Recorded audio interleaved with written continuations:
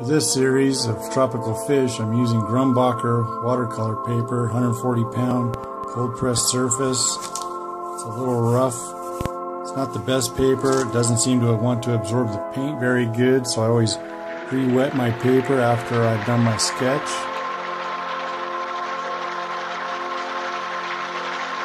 I've a light sketch. This fish is really bright, intense pinks.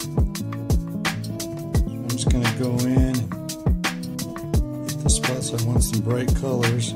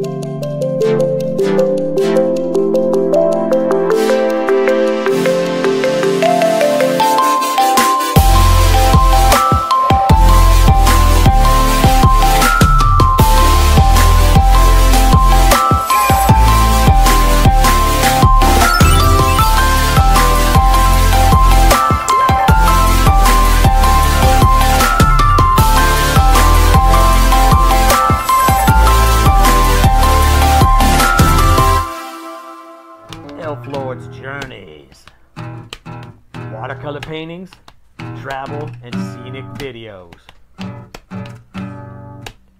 Bass!